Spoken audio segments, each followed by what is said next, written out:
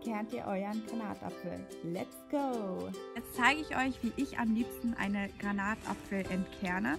Und wie man sehen kann, eine Granatapfel ist nicht perfekt rund. Sie hat ja eher so fünf Spalten, die fünf bis sechs Spalten so rumherum gehen.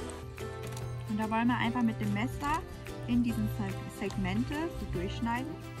Man nimmt den Granatapfel und bricht den quasi in diese Schüssel mit dem Wasser einfach so auf.